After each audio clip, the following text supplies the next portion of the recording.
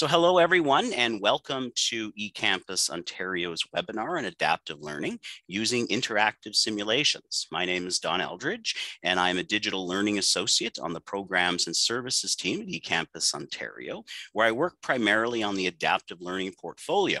It gives me great pleasure to be moderating today's webinar and to introduce our main presenters.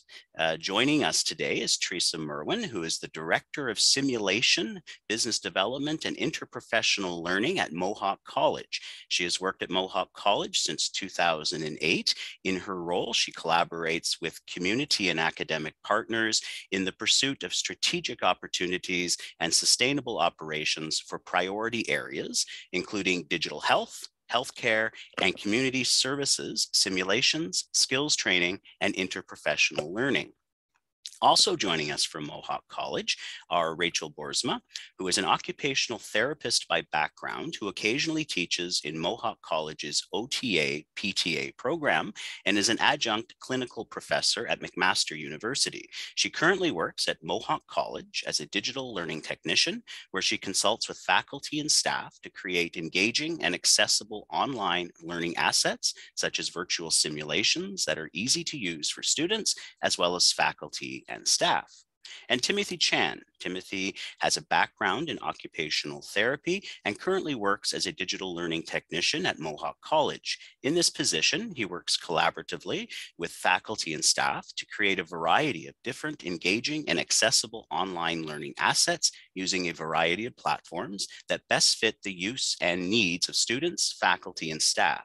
Some of these platforms include, but are not limited to H5P, ThingLink, Affinity Learning, and Pressbooks. Timothy is also an adjunct clinical professor at McMaster University and occasionally teaches the Therapeutic Relationships course in the Canadian Healthcare Program at Mohawk College.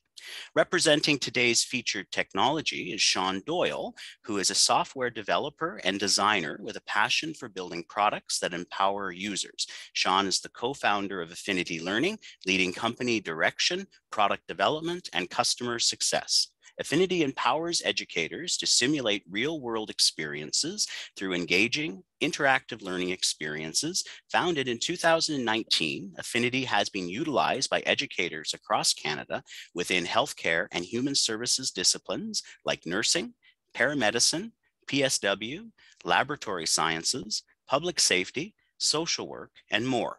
Affinity's intuitive authoring toolkit allows educators to quickly create interactive simulations using their existing educational content. Welcome, Theresa, Rachel, Timothy, and Sean. I'd also like to take this opportunity to honor and acknowledge that the offices of eCampus Ontario are located on the traditional territory of many First Nations, including the Mississaugas of the Credit, the Anishinaabe, the Chippewa, the Haudenosaunee, and the Wendat peoples, and is now home to many diverse nations, uh, First Nations, Inuit, and Métis. I recognize and am grateful for the legacy of all past, present, and future generations of the First Peoples of this land. I'm joining you today from Fort Frances, Ontario, which is situated in the traditional territories of the Anishinaabe and Métis people, where it is my great privilege to live, work, and learn. In this virtual space, we are all convening from different places. This is one of the things that makes the online environment special. I invite you to share your own land acknowledgement in the chat.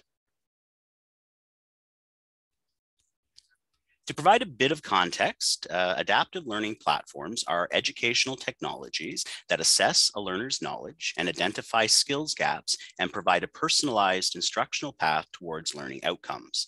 Overlapping with adaptive learning are other technologies such as artificial intelligence, machine learning, and intelligent tutoring systems. Often experiential in nature, these technologies are grounded in competency-based instruction and move the learner towards mastery through ongoing practice and immediate feedback. Among the many benefits of adaptive learning, these technologies have been shown to improve learning efficiency, knowledge transfer, and learner engagement. eCampus Ontario has been working in the adaptive learning space for the past several years, where we see these technologies as an important and emerging part of the digital transformation of higher education. You can see details about our work by visiting our adaptive learning webpage at the link now being posted in the chat. For the remainder of today's webinar, we will hear about a collaboration between Mohawk College and Affinity Learning. This collaboration, which benefited in part from the province of Ontario's historic $70 million investment in the virtual learning strategy, enabled educators to build virtual content and scenarios that demonstrated user-centered design, as well as continuous evaluation and improvement. At this point, I'm going to stop sharing and hand things over to our presenters to share some details about their work and the innovative technology behind it. So over to you.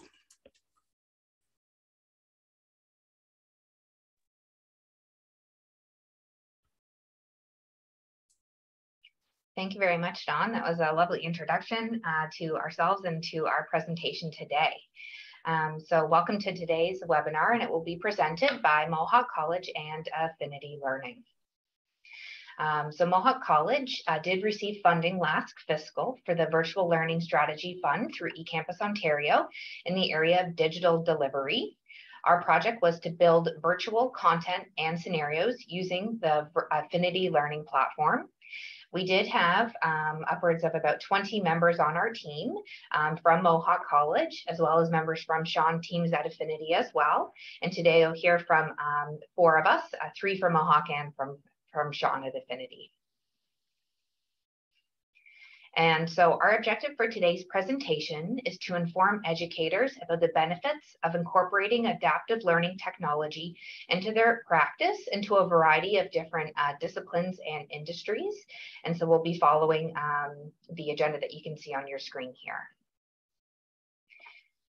So we'll start um, by sharing the educational context for how we came up with the project and what the goals and gaps virtual simulations or the content and the scenarios could help solve. So we do, do look at three main perspectives. We looked at um, the learners, our educators, and our administrators. And so we will go into each of these in a little bit more detail as we move on through the presentation. Um, but the project did come up um, with the onset of COVID. So it was a really good timing for us because we had um, fewer programs that were in person, many programs that were virtual. And so we did need to find ways to um, uh, bridge those gaps for where we did have in person simulations or cases or um, different scenarios to promote critical thinking. Um, so we needed to find a way to bridge that gap for learners in a virtual environment. Um, at the same time, we needed our educators or the ones coming to us, recognizing these gaps, letting us know, um, you know, that there was going to be struggles upcoming for our students, and they wanted to find ways to, uh, as proactively as possible, uh, try to mitigate those gaps that they were seeing. And some programs, it really, it really was more to not more, but it was as well to meet accreditation standards. Um, so we needed to make sure that we were still hitting the marks on those areas as well. And then from my perspective as an administrator, manager, leader, um, my goal was to advance simulation beyond what we typically saw in nursing and in our PSW programs. So this was an opportunity for us to expand this to our community services and justice cluster programs. Um, also, I was looking for something that was going to be sustainable and budget friendly. So not just something I could do with the eCampus grant, but something that Mohawk would be able to be able to sustain after the grant was over. Um, and also simulations are experiential learning and they're tied to the strategic mandate agreement three. And so we were able to hit that mark and hit that metric in more program areas than we had pre-COVID. And I'll pass it off now to my next team member, uh, Tim, to continue. Thank you, Theresa. Um, and yeah, so I'm just going to dive into a little bit about the process that we went through. And so within the School of Health and Community Services at Mohawk College, we did have nine programs participate with us um, in, in this grant. And in total, we had about 16 educators who were tasked to create a virtual simulation that best fits the needs or the gaps that they found in their course and program. And so we were wondering, you know, you may be wondering why affinity learning. And so our team has had previous experience with other branching or simulation uh, platforms before. And so we just realized that there were a few features we were really looking for that affinity learning satisfied. The first one here being LMS integration and response tracking. And what this means is that it really allowed us and also the educators to follow the progress of the learner throughout the simulation, really understanding where they're having learning gaps, where there are areas of concern, and really use that to really drive or um, cater the debriefing session or lessons in the future to really address those gaps. The second point is versatility. So as um, creators and looking into the simulations, we were hoping to cater the screen to really fit exactly what we want the learner to see to avoid distraction or any other areas of concern. And of course, we also wanted a variety of different activity options um, to improve engagement and um, also to address other learning gaps um, or activity needs that programs would, would have wanted in their simulation. The third point is that we wanted a platform that was simple and intuitive. And so our biggest thing is to not have technology derail learning in our, in our learners. And so we found that Affinity Learning was really clean, it was really user friendly, it was just really easy to understand. And so we were hopeful that this platform would make it easy for them to just really intake the knowledge and this the information we were presenting them instead of being worried about the technology um, or any other technical uh, concerns that may show up. And the last point here is that Affinity Learning was very fast and attentive in their um, support. And so they were very great in terms of we would reach out for um, areas of concern or errors that might have popped up. Um, and they just respond in a moment's notice, even if it was just questions about the platform or other features that we were interested in. They're very great in just responding really quickly and helping us learn more about um, what, what is possible. Um, and now I'll just pass it off um, to Sean, the co-founder of Affinity Learning, to just give a bit of a demo in terms of um, kind of what the platform can do. Perfect, thanks, Tim. Um, so I want to give a quick overview um, of the uh, authoring experience, so those creating simulations as well as um, those who are um, using them, uh, the, the learners. And so um, this is kind of a bird's eye view of a scenario, uh, one of the scenarios built by the Mohawk team. So you can see that the learner progresses through a series of screens here uh, until they reach a decision point, at which point they can take different pathways depending on their um, previous decisions on that screen. Um, so if I click on one of these screens and I preview it as a learner, um, you can see we have some text on the left. We have some, uh, we have an audio clip, and then we have some interactive buttons here. Um, so these screens are totally flexible. These can be um, built out um, to the author's liking, depending on learning objectives, uh, which I can show a bit more. But um, so as the learner here, I would um, click on these uh, buttons representing uh, Mr. Martin, who's the client, and, and view his files. Um, and viewing this screen, um, I just want to bring this view up. So this is like the full catalog of building blocks that the author has at their disposal to um, build out the screen uh, the way they wish. And so some of these are media types, so videos and audio files, um, including 360, uh, and a lot of these are interactions, so different activities and um, uh, uh, different interactivities and, and, question types that you can embed into these screens. Um, so moving along to the decision point here, if we preview this video screen, um, just to give you a flavor of the, of the simulation. So we get a quick video, the PSW arrives uh, at the patient's home and is greeted by the uh, caregiver. Um, that brings us to a decision point, how we would like to introduce ourselves. We have three options here. So I'm gonna pick one that I know is the incorrect uh, choice here. I'm gonna say, hey, what's up? So I then get the video uh, associated uh, with that choice. And after this plays out, I get some feedback associated with why that was the wrong decision here. And when I press continue, I get another chance at um, uh, introducing myself the correct way. And so this is sort of the flow that this, um, this particular simulation uh, follows as it goes through, as you can see, um, until the learner finally reaches the end. And at that point, um, as Tim mentioned, all of the uh, all of the learner's choices are represented here on the right, which they can download as, as a PDF and is also synced back to the uh, learning management system uh, optionally. Um, so that's sort of one flavor of, of SIM uh, that you can build. Um, to provide another example from Mohawk, um, we have support for 360 media like this. Um, this is a police foundations learning context, so exploration of a, a crime scene um, as the student clicks on the placards, they can they make notes about it and then continue. So just to provide kind of a, a different um, style of, of uh, learning activity that, that Affinity supports. Um, and then maybe finally, I'll just quickly show, uh, we also have natural language based uh, interaction here. So you can see we have uh, two and a half minutes here to uh, interview this patient and gather some key information. So here I'm using my own words. I'm gonna ask him how old he is. And when I get that piece right, it's illuminated on the right-hand side as a key piece of information.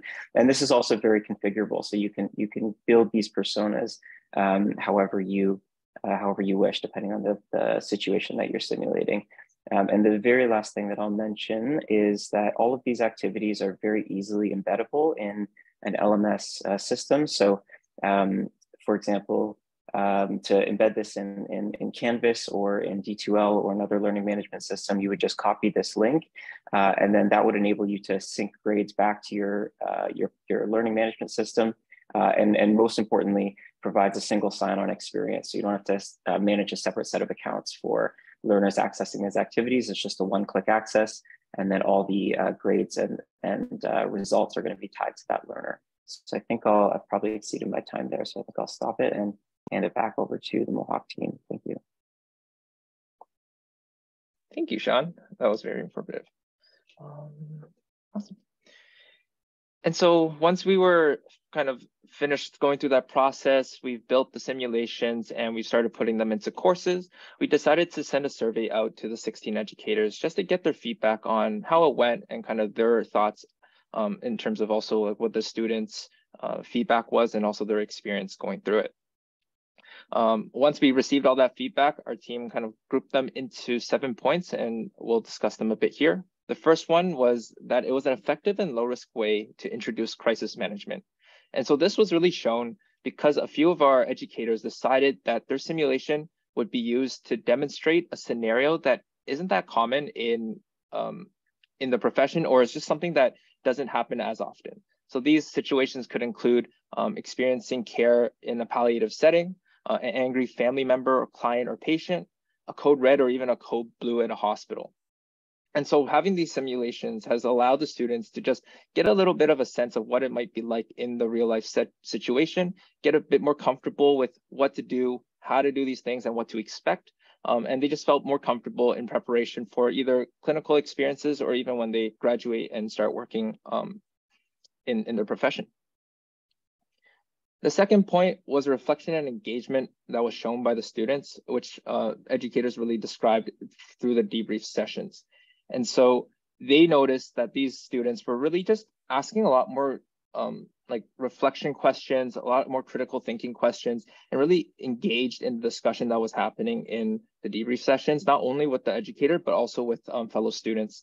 And so this was just really helpful to get their insight into what exactly they thought um, how they did in the simulation, areas that they think still need more clarification. Um, and yeah, it just really improved uh, just engagement in general. The third point, as Sean was saying, was that LMS integration really helped with marking in general. Uh, instead of having the students copy or download something and upload it into an LMS, the report got sent straight to our LMS and straight to our gradebook. And so the educators had a really easy time just following up with exactly what the students clicked, where they're struggling with, and um, help save time in that sense. The fourth point uh, was also that there was a significant reduction in time and cost. And so normally in a in-person simulation, you would need uh, to hire a simulation technologist to be there. You need the professor to be there. You may need to schedule time with the students to figure out what's best. You might need to prep and clean up afterwards. And with virtual simulations, all this wasn't really necessarily needed. Uh, we just needed to put in the time to build these activities. And then afterwards, uh, you didn't have to worry too much about having other people there to support you, to clean up, and also to make sure that it was available for the students at their best time. The fifth point was that it provided more insight into new learning gaps that students were having. And so these simulations were used to address current learning gaps, but again, through the debriefing sessions, they educators really realized that students may struggle in certain elements. They may need more clarification in other knowledge um, areas. And so using those, um, using that information in these in these new learning gaps, they were able to cater uh, their debriefing sessions or future sessions to really help address these uh, knowledge gaps, and also to consider potentially whether or not they need to provide more information before these simulations were done to help them feel more successful when going through them. The sixth point is that it really helped provide structure when learning a new skill. Sean uh, was showing a little bit about what we did, but we used a structure called pseudo branching in our simulations that allowed students to kind of have that the ability to explore, choose different areas, uh, different options, and in order to go forward, they have to get the correct response.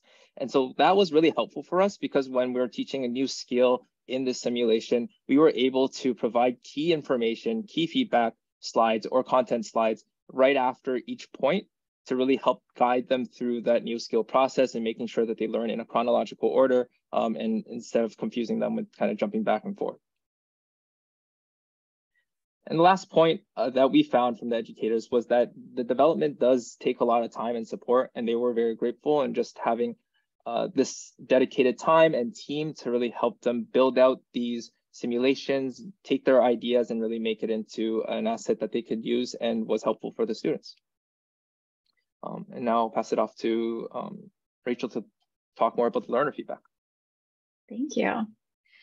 Um, so we also had the opportunity to survey our learners. Um, we created a Microsoft form that we gave to professors and asked them to put in their course shells after the page with the simulation. So we had about a thousand students have access to this form. And of those students, we had 370 responses. There were different sections to this form, so we wanted to share some feedback from our Likert section. We had 95 to 98% agree on a couple of these points that we wanted to share.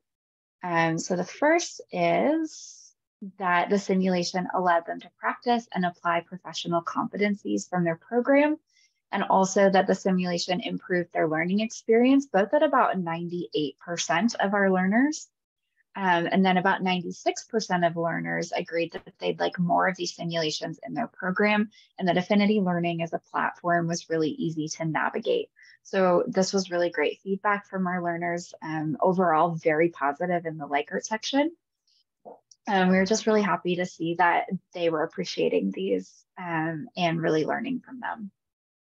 We also had an open-ended section in our learner feedback, and we've grouped these into kind of eight themes that we wanted to share.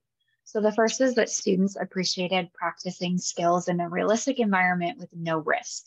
So our educators worked really hard to make sure that all of the options that the students could choose, the correct options and the distractors were realistic things that students might actually choose in the field.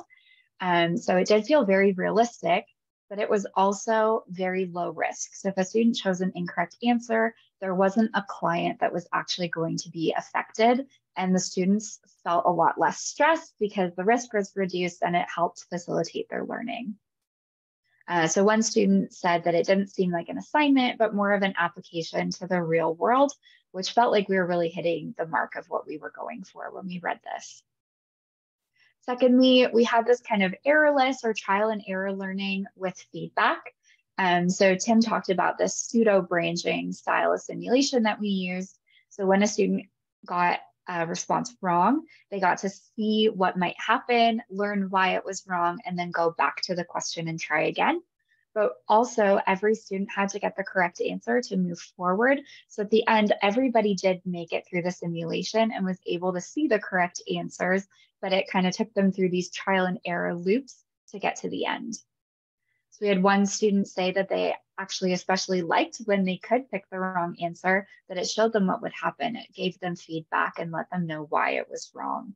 And this was key feedback that we received over and over and over again from our students. Third, the students liked being able to bring a simulation to termination. So in class, they would learn a lot of separate skills. But then in the simulation, they got to work from calling a client from the waiting room to dismissing them from the exam room or from an incident happening at their organization all the way through resolving it with all of the stakeholders. And that's something that's just really hard to do in traditional didactic classes. So they appreciated being able to put all the pieces together in a simulation. Fourth, they appreciated being able to focus on one skill or decision at a time so because this is still a learning experience, we're able to focus the students in and say, what's your next priority action? And then have them solve that and then choose another priority. Break things down into manageable pieces while they were learning, but also practicing the skills. Fifth, uh, we heard from a lot of students that it was very confidence building before an assessment to try this out online get feedback, see how they were doing. And then when they actually had to perform the skill in front of an evaluator, they felt like they were more prepared um, and just ready to do it, more confident, which helped them to actually do well on their assessments. Sixth, they appreciated that it was self-paced and that there were downloadable reports that they took kind of as a proof of progress, that they had worked through it, they had finished it, um, so the student said it allowed them to work at their own pace and have collaboration with a peer, which was a really great thing that we found about these virtual simulations is that they could work at their own pace. They could work with peers. We don't typically grade our simulations. We might give a completion mark if they get all the way through, or we would uh, grade the quality of a debrief, but we wouldn't typically grade the simulation itself, which gives them opportunities to work at their own pace or work with peers which helps facilitate their learning. Seventh, we were able to cater to multiple learning styles at once. So our visual learners had photos and videos and text. Our auditory learners also had those videos and um, audio buttons for long text screens. And our kinesthetic learners had these videos that were filmed as if the camera was the eyes of the professional. So it felt very immersive and engaging. And we also had uh, some faculty members who had uh, documentation sheets that would need to be used in the field that they would put in for learners to fill out while they were completing the simulation, which also helped uh, our kinesthetic learners. And finally, the learners appreciated that the variety of things that were in the simulations was engaging. So we had virtual tours, we had AI chats, we had drag and drop activities. It wasn't the same thing every time, and they also just loved that Affinity was really clean and clear and easy to navigate because I'm sure, as most of us know, technology can get really confusing. So they liked the fact that it was just very clean and clear and they were able to understand where they were going. Uh, so the student said that they felt like a detective trying to figure out all the aspects, which really hit home for us that this idea of gamification of learning had really been achieved in the simulations that we were doing and the students were engaging um, and having fun as well as learning. The other thing that I want to share with you are some outcomes that we found. Uh, we recently touched base with three of the professors who we worked with, and we asked them if they saw any differences between their cohorts of students who didn't have virtual simulations and now their cohorts of students who are using them. So, of these three individuals that we spoke with, one previously used um, in-person simulations, and now the entire course has been transitioned virtual. And the other two had never used simulations and now we're using our virtual simulations. So um, our one professor who had used in-person simulations says that there's been an attitude shift in the students from this, I have to do simulations, simulations are um, nerve wracking and I'm relieved that they're over, to this idea of they want to do the simulations. They actually want the profs to open them up faster so they can see what's happening with the clients. And uh, this prof attributed this to the students having less stress. Um, they're not as stressed out about making right and wrong decisions because it's actually encouraged to check things out. And so they're actually engaging with the client better. The second thing we heard from all the profs is that there's more robust reflection and clinical reasoning happening with all of the students, um, which we've heard multiple times through the presentation. The third thing that they mentioned was that the first person style of filming that we used for our film scenarios really let the learners feel like they were in the shoes of that professional and it helps them to own the decisions that they're making and really feel like they're there even though they aren't. Um, and the process identified this as a really important and engaging part of the simulation. Our fourth point was that collaborative discussion was happening about the options that were available. Um, so one of our profs had the students do this in person in a face-to-face -face class. They were doing this uh, virtual simulation together in groups. And she said that there was a lot of back and forth conversation about the pros and cons of different options, which was really deepening that critical critical thinking and clinical reasoning uh, that she was looking for. Fifth, while we didn't necessarily notice any significant changes in grades between the different cohorts, uh, one prof did note that her course ratings have actually increased slightly. Um, so it just goes to show how the students are really valuing these simulations that is being shown even in the evaluations. And then finally, um, again, from our prof who had previously done in-person simulations, she noted that students are now choosing incorrect answers as they're encouraged to do in this virtual simulation, even though these are things that they never would have chosen before in in-person simulations. And they're able to see how even making small changes in tone or in wording can make a big difference in your interaction with a client. And now I'm going to turn it back to Tim to finish this off. Thank you. And so there are definitely challenges within this process that we came across um, being shown here on the screen. There, we did start in the middle of May and we did have about approximately seven weeks with uh, our faculty members uh, just to you know brainstorm the ideas, come up with the storyboarding um, and the scenario, and then also to build it out and film and everything. The second challenge we had was that we did have a decent amount of first-time faculty, meaning that they haven't really explored or know much about branching or virtual simulations before, and so figuring out how to guide them through this new process.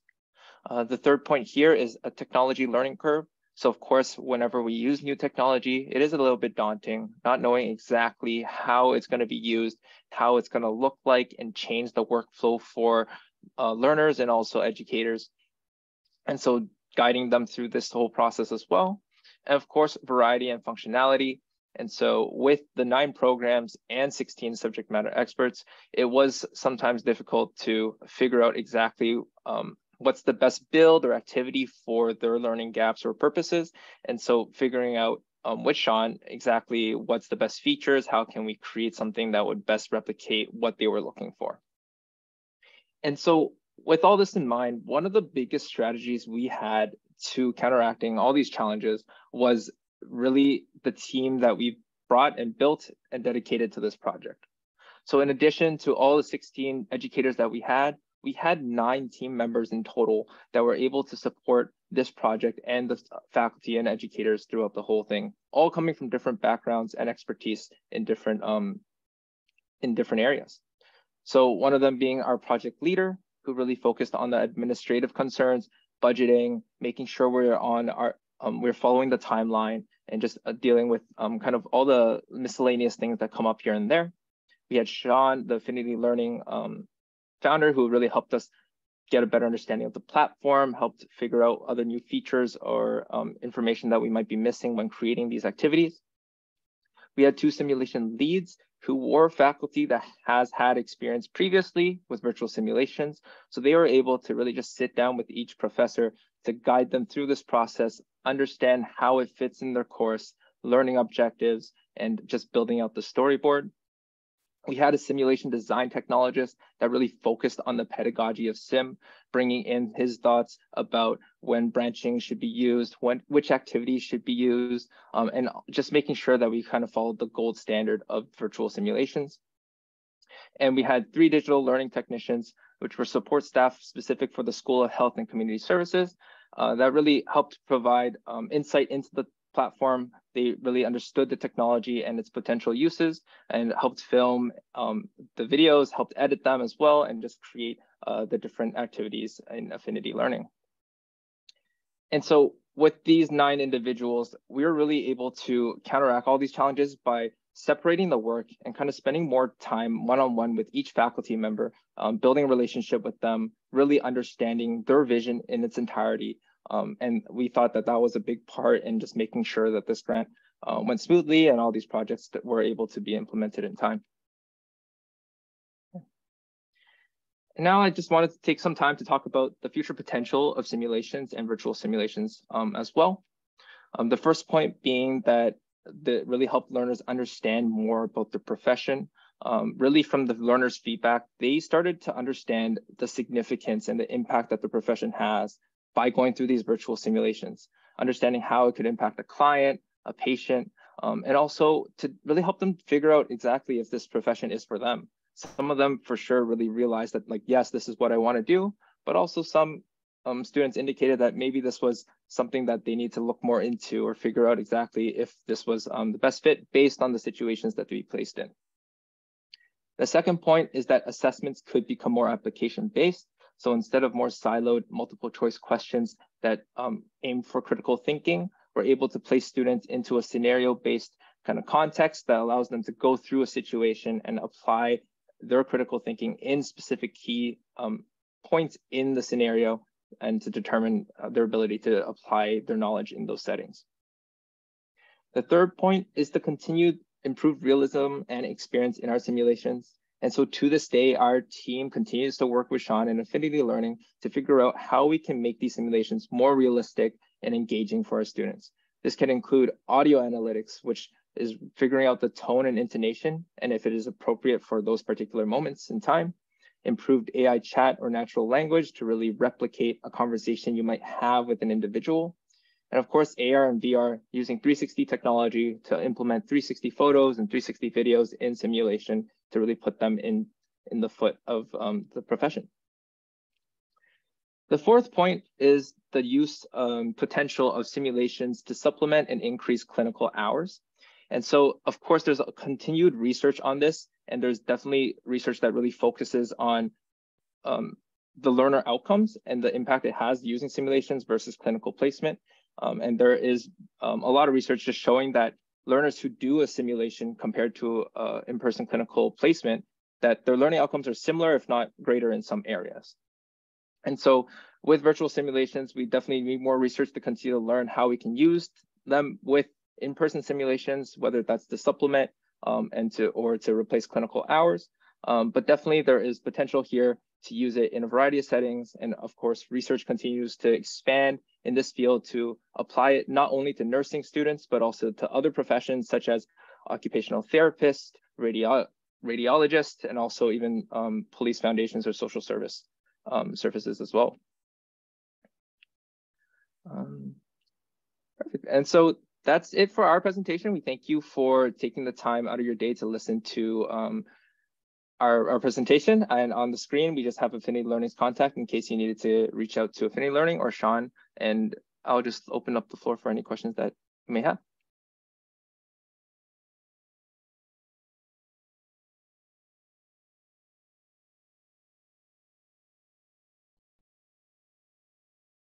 So I see it. There has been some back and forth in the chat already. So uh, that's been uh, terrific. So thank you, Sean, for answering those questions from our first specific participants so far. And we invite anyone who has any questions to, if you'd like to put up your hand and open your mic and we'd be glad to uh, allow you to uh, to ask any questions. Um, I'm just wondering, and I uh, so obviously the videos and there's a lot of production that go goes into those. How important from a sustainability point of view is kind of capturing when you create these assets and having them cataloged in a way that lets them be uh, put into other contexts and shared across programs how important is that to kind of the sustainability of this kind of project and how do you kind of facilitate that sharing across disciplines and, and the sharing of content and material in different contexts Thank you. That's a great question. And that was something that we definitely keep in mind um, throughout this project. And actually, so Tim and Rachel, they're a part of our digital learning technicians. We have three. I'll let them actually speak to this piece, but um, not just in virtual simulations, but in everything that they're doing to support our faculty and staff. Everything is very organized and cataloged so we can easily share it. But I'll let them talk about their specifics on how they're doing that, creating that, and, and collaborating. Yeah, thank you. Um, I think that was something that we definitely talked about with our professors as we got going with the project um, was one of our first questions is trying to figure out is this something that is really specific to you? Or is this something that we could potentially use in other areas?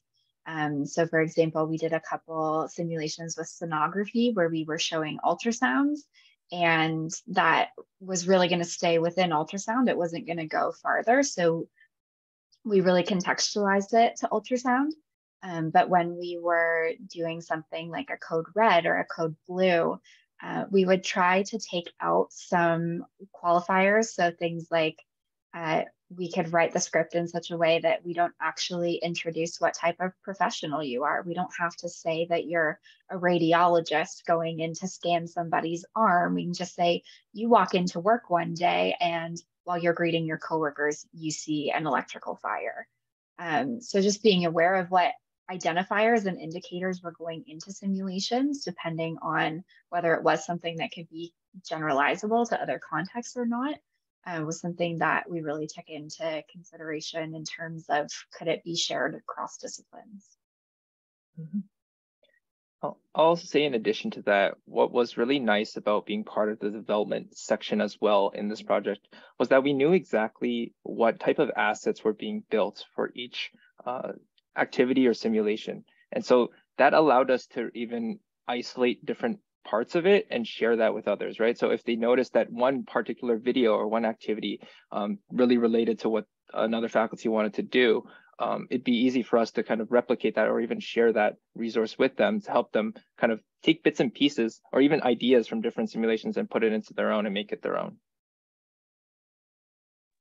Oh, thank you very much uh, for that great answer. Um, I'm not seeing any questions popping up yet in the chat, but again, feel free to put them in there. Oh, we do have a hand raised, and if I can uh, identify. So whoever I, sorry, I'm not seeing who has the, oh, yes. Mo Monica, I see there you are. I, I don't see all the faces at once. So Monica, yeah, go ahead and ask your question. yeah, I, I think firstly, I think it's such a great presentation. I must say, I kept writing questions, and as the presentation progressed, most of my questions got answered and I kept crossing them. Oh, they've answered this. And also, thank you for such a great presentation. I had one question though, and I wanted to talk about the educator's experience. That is basically the faculty. I did like that there was a lot of support for them in terms of the people who knew about the simulation and uh, you know the digital support. Having said that, I still wanted to understand that you know for a faculty that already has some work to do, this is some extra work, you know, this is some time that they need to take out from their regular work to say, okay, I'm ready to create a simulation. So I, like, how much time did it take? And like, how were you able to handle that uh, faculty which already has some work and what challenges did they face and what motivated them to create and say okay well you know i'm going to take out some time and uh, you know create a simulation and put in those extras so i just wanted to understand that aspect of the educators feedback Sure. So I can start with this piece. Thanks so much, Monica, for that question. Um, so into the project itself, we did build in time for faculty to have a partial release on their workload or their courses or their complementary functions. Um, mm-hmm. So in the college sector, we have uh, SWIFTs, those standard workload agreements. Um, and um, so we did build in time into the project framework to have um, some of that release time. When mm-hmm. we initially launched the project, the development for the scenarios was set to happen over the four months of uh, spring and summer. And so mm-hmm. our faculty are usually on two months, off two months. So they had basically seven to eight weeks um, to create their scenario and to work through with the digital uh, technologists, the simulation design um, specialists, and our um, faculty simulationists. So they mm-hmm. did have that two month period to work through the curriculum, build the curriculum development. Mm-hmm. Then our um, digital learning technicians and our simulation design technologists actually built what they were looking to have created in Affinity. Then mm-hmm. when the faculty returned in the fall semester, we presented to them what we built based on the scenarios and scripts that they had already created. Um, mm-hmm. With that, we made some slight adjustments, some slight changes, received their feedback, and then they were either launched in the second half of the fall or in the winter or in the spring, just depending on where, where the course fell into the curriculum.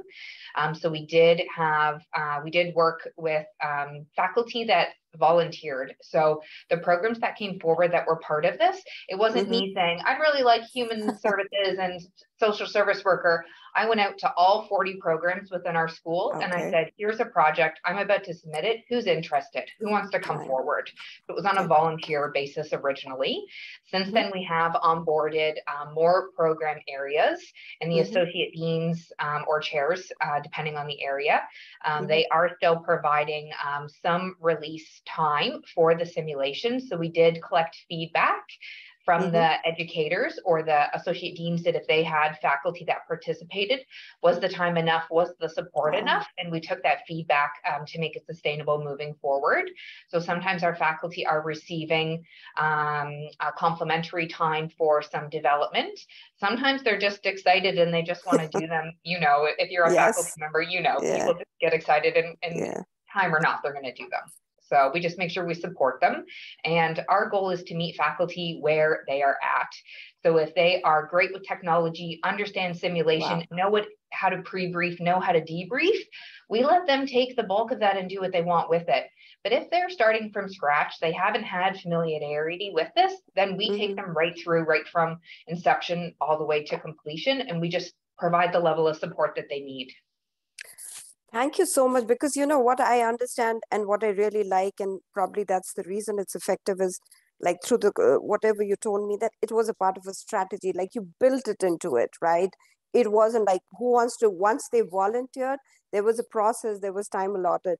And I think that is one of the things that whenever a new technology is introduced, uh, you know, taking care of that is what kind of works in favor. So thank you so much for that response. Really appreciate that. Thank you. Thank you thank you for the question. Thanks for the great answer. Uh, Edmund, I see you have your hand up there. Why don't you go ahead and open your mic?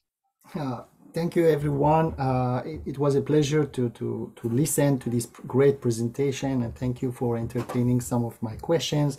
The platform is impressive. I can see lots of potential in it.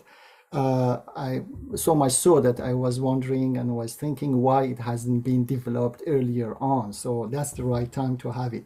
But uh, come back to my question, uh, uh, thinking of accredited uh, programs that needs to be regulated, and perhaps this is a question for Theresa or I don't know anyone on the team. Uh, have you uh, kind of any feedback from professional associations if this is the case, actually, if this is applicable to one of your programs? Because I saw a bunch of multiple programs that you have.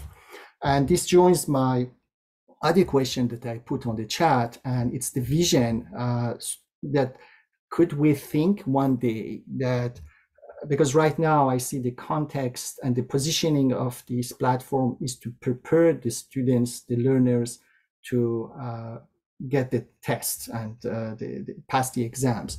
Could we think one day that this could sit instead of the exam itself uh, and would that be acceptable from a professional association accreditation point of view, or is this just a dream? Thank you. Okay. Maybe I'll start in this question, then maybe Rachel has something to respond with because she also unmuted as well. Um, so I would say, so we've only been doing these virtual simulations for a couple years, and in these programs, we haven't been through accreditation processes with them. But um, during COVID, I know that uh, a lot of professional um, des uh, designations and, and professional bodies did, you know, relax some of their standards. So I would say I can't really give an answer. It is it is each individual professions and accreditation body really up to them.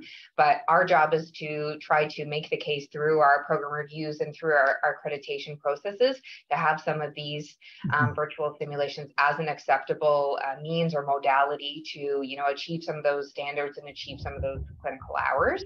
But we haven't personally gone through any um, accreditation since we started with these virtual simulations to speak to that individually. Um, and then for the second question, where you said, would they be best positioned for prepper exams, or could we one day think of them being the examic test itself?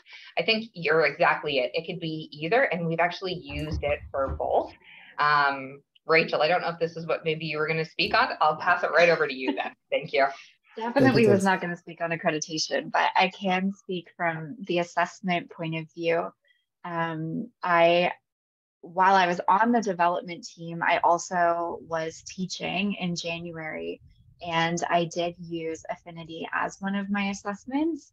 Um, so we typically in my program we would do a triple jump exam, and the first step of this exam is that the student has to interview a client. And typically, what we would have is multiple faculty members getting extra hours that week to sit with students for eight hours a day for two days to um, have the students ask them questions and then you would look at the sheet and figure out, okay, is there an answer to that question? If yes, give them the answer. If no, they'd ask a new one. Um, and it was just a lot of time and resources that was going into that. So for my program, we worked with Sean to create an artificial intelligence chat bot that could do a similar job and we could have all of the students come on at the same time and work with the chat bot independently um, to do that first part of the exam. Um, so for us, it actually really alleviated a lot of strain that was happening in the program to try and get this uh, assessment to run. And we were able to replace that first part of the assessment with this uh, artificial intelligence chatbot in a simulation that would help to guide them through that question asking process. Um, so I think we are sort of starting to see it come in. Um, right now, a lot of groups do use it kind of as that preparation, and then we'll get uh, an in person simulation at the end of term that they're being evaluated on. But we also have groups that um, all of their simulations, I think one of our PSW courses, they have six virtual simulations, and that's that's a big part of their course. So it's getting there, but maybe not quite there yet. Perfect. Thank you so much. Uh, uh, there are lots of other questions, but uh, because of the time and as Sean uh, offered kindly to, to do a follow up, I will follow up offline. Thank you, everyone. Uh, thank you uh, for that question, Edmund. I think I think it really exemplifies, certainly from eCampus's perspective, why we're so interested in adaptive learning um, and these types of technologies. They really are part of a transformative uh, technology in the sector, and I think that as it it advances, more and more professional associations and institutions will you know, take full advantage of the potential I think that's there. So I think that was a great discussion. Um, so that uh, concludes today's webinar, and I'd like to uh, thank our presenters for sharing their work and their insights here today. Thank you to you, our audience. I hope that uh, you found some useful information on how you can incorporate adaptive learning into your programs and courses. And last, but certainly not least, thank you to our eCampus Ontario communications team for making today's webinar possible and handling all of the behind the scenes arrangements. We certainly couldn't do it without you. Uh, if you would like to find out more about our work in adaptive learning or to connect on work you might be doing in adaptive learning, please visit our adaptive learning webpage. Uh, today's webinar is the third in a series offered in October and November. The recordings from our first two webinars can be found on our YouTube channel and adaptive learning webpage. Uh, watch your email and your e and our eCampus Ontario social media channels for details on additional webinars that will be offered starting in January. Uh, I encourage everyone to explore the eCampus Ontario website for our various programs and services, including Ontario Extend, Micro-Credentials, CAPFO, the Open Library, Ontario Exchange, and more. A couple of important opportunities include the OER Adoption Initiative through the Open Library. As of 2022, Ontario's post-secondary sector created over 600 educational resources that have been added to the Open Library, and is now time to adopt these amazing assets. This project focuses on fostering discovery, use, impact, and sustainable engagement on the Open Library's VLS collection. Interested colleagues uh, should visit the OER integration webpage at the link now being posted in the chat. Uh, as an additional bonus, eligible adopters may be entitled to a $300 stipend for unique OER. And be sure to mark your calendar for eCampus Ontario's TESS conference, The Hybrid Experience, on November 15th and 16th at Toronto's Globe and Mail Centre. Join us at this premier event where we celebrate education and community. Tickets are limited and can be obtained at the link now being posted in the chat until this Friday. However, if you're unable to attend in person, no worries. We have a free webinar series coming up next week with registration available at the link now being posted in the chat. More details on these services and access to the recording from today's presentation uh, will be sent out by email to all registrants. So I thank you for attending here today and enjoy the rest of your week. Thank you, everyone. Bye for now.